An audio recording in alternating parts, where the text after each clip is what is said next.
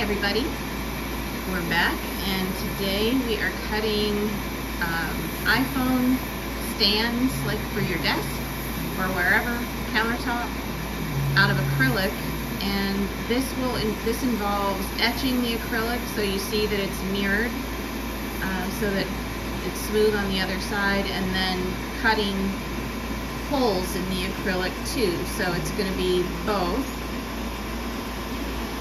and this is for one of my nieces. And the cutting goes really kind of slow, but the rest of it moves pretty quickly. And so I'll post a still of what this looks like when it's done.